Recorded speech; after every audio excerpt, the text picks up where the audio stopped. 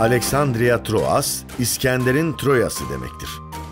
Büyük İskender bugünkü Bağdat yakınlarındaki Babilon'da ölünce Makedonya'dan Hindistan'a uzanan Büyük İmparatorluğu komutanları arasında taksim edildi.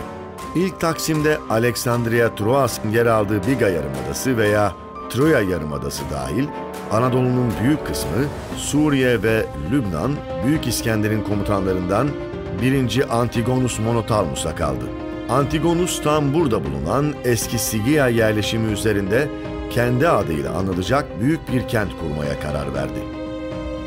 Milattan önce 310-306 arasında kentin inşasına başlandı ve kente kendi adına nispetle Antigonus'un kenti anlamında Antigonia ve kurulduğu efsanevi Troya bölgesine nispetle de Antigonia Troas adını verdi.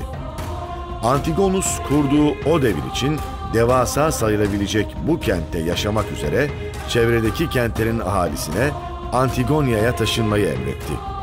Alexandria Troas'tan güneye doğru baktığınızda Tavaklı iskelesine giderken sahilde kalan ve beşiğe benzeyen tepede kurulu Kolonai'den bölgenin o dönemki en zengin, büyük ve müreffeh kenti Meandria'ya, Hamaxitus, Larissa ve Krisa'ya, tüm kentlerin sakinlerini kendi kurduğu Antigonia'ya taşınmaya mecbur bıraktı. Kentin sembolü olarak da civardaki en büyük kent olan Meandria'nın otlayan at sembolü benimsenerek paraların üzerine basıldı. Kent 7,5 ila 8 kilometre uzunluğunda ve yaklaşık 3 metre kalınlığındaki surlarla kuşatıldı.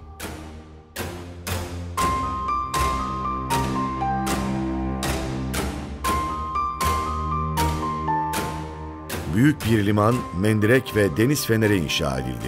Ayrıca kentin içine de bir iç sur inşa edildi. Tiyatro, saray, dönemin çok amaçlı salonu Odeon ve çok sayıda evler yapıldı. Kent kısa sürede o devir için görülmemiş bir büyüklüğe ulaştı.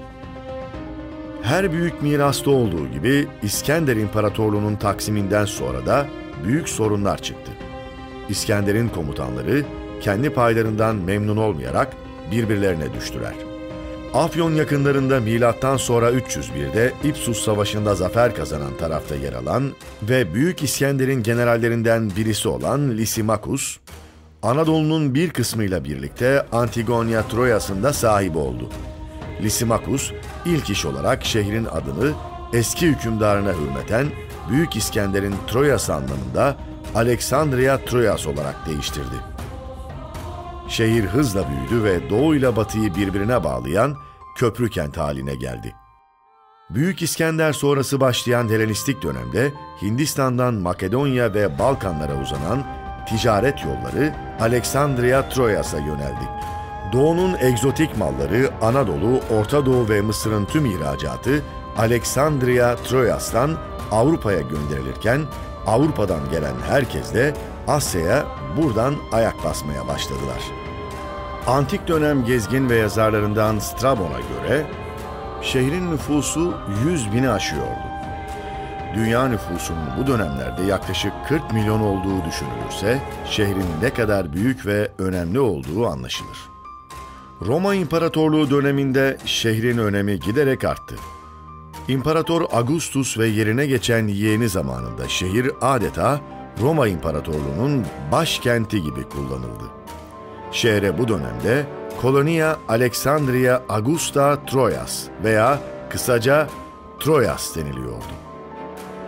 Hz. İsa'dan sonra Hristiyanlığı yaymaya çalışan havalilerinden Tarsuslu Saul ve Aziz Paul, üç defa Alexandria Troyas'ı ziyaret etmiştir.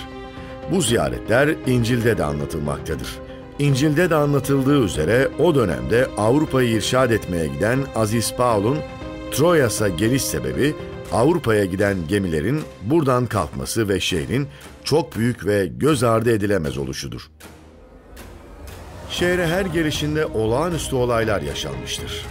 Aziz Paul bir gelişinde Kestanbol kaplıcaları bölümünde bahsettiğimiz şekilde ölü bir çocuğu diriltmiş ve bir keresinde de gördüğü bir rüyayla Avrupa halklarını irşat emri almıştır. Alexandria Troyas, Hristiyanlığı kabul eden ilk şehir olarak da kabul edilmektedir.